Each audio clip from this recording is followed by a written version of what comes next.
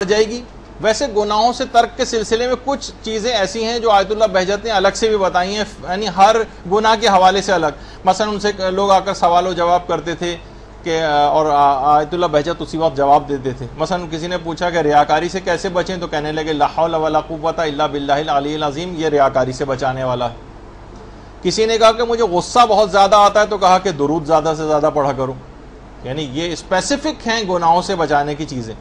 किसी ने कहा कि मुझे वसवास बहुत ज़्यादा आते हैं तो फरमाने लगे कि ला इला ज़्यादा पढ़ा करो। किसी ने कहा कि मसलन मुझसे गुना बहुत ज़्यादा हो जाते हैं तो कहा कि अस्तगफिरुल्लाह रबी वातूबु ज़्यादा से ज़्यादा पढ़ा करो।